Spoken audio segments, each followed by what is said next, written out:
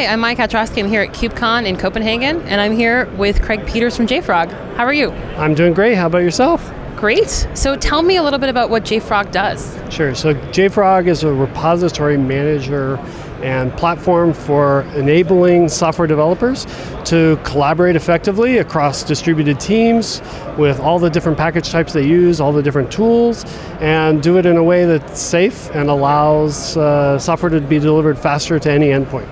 What, what, do you mean by a way that's safe? How does that work with containers? Oh, well, that's a really great question. I'm so glad you asked. it's as though we staged or practiced this. Um, and yet we didn't. absolutely not. So, um, what I mean by safe is that uh, when you deploy an application into any environment, so let's take Kubernetes as an example. Why would we be talking about that here? But if you're deploying to Kubernetes, you, know, you have. Uh, uh, you might have packaged your application in Helm, right? So you might have Helm charts that you're using to deploy the application. Those depend on Docker images, right? Those Docker images, you know where they are. They're in some sort of secure registry.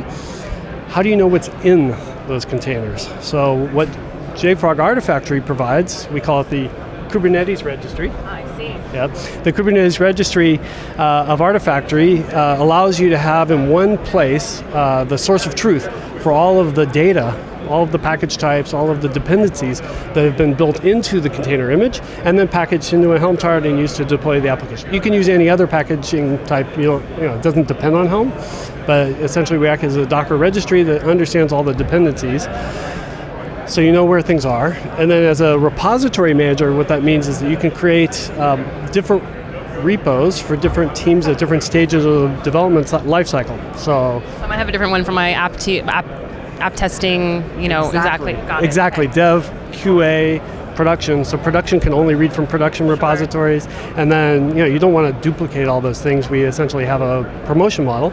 So based on you, know, you might want to make Move it, it from one registry to another or something like that. that. Exactly, automatically, and it's only like you want to make it so only service accounts can do that. Got it. And then you want to make that completely independent of the underlying storage, and use any auth mechanism. Right, that's that's what we do. And do you want to talk me through what's happening right here? Absolutely. So the story here is that you're deploying an application that's packaged as Docker images inside a Helm chart to, to Kubernetes, right? Well, what's in it? It's Docker images. If you look at an image, it actually is usually layers, you know, right? We use layering and, and all that, that consists of your application, whatever code you've written. Maybe it's, uh, maybe it's Maven, right? You might have written Java and use a build tool, or it might be NPM.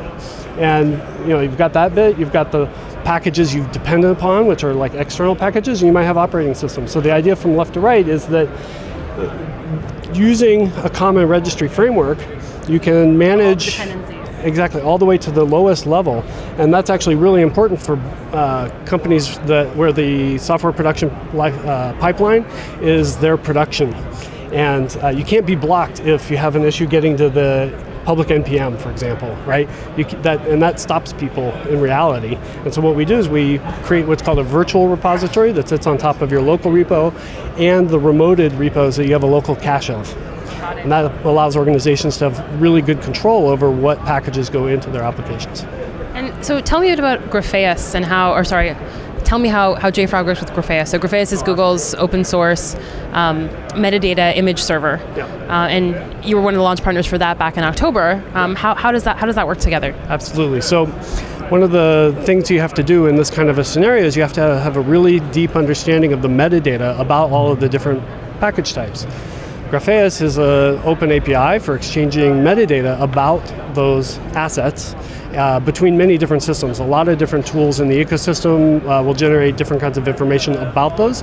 So the, the first things we started with obviously are vulnerabilities. Everybody right. wants security and safety. Yes. So yeah, so one of our products is called X-Ray, and X-Ray is a part of this package. And what it does is it uh, has a deep understanding of the layered packaging. It, it unpacks them all, uh, understands the components that go into a package, uh, matches them against vulnerabilities. But we also do licenses and, and things like that. Uh, the point of Grafeas is that it makes it very easy and lightweight to exchange information between us and other Grafeas data providers. So, say Google a, has a huge database of, of um, different kinds of data, like maybe performance or compatibility data, you need a way to aggregate that in your CI pipeline so that you can make automated decisions about whether or not so- you know, your software is ready to move from staging into production. And so you don't want to have to go and query all of the different systems. X-Ray provides a way using Grafeas to aggregate all of that data into one system, one call. Great. Well, thank you so much for chatting with us at on the floor at KubeCon. Really glad. Are you having a good time here? Oh, it's been great. We've had lots of great conversations, and you know, the, we're really glad to be here and participating in this community. Thank you so much. Hopefully, we'll see you in Seattle. Absolutely. And uh, and thank you all for joining and watching us here at KubeCon. Thanks, guys.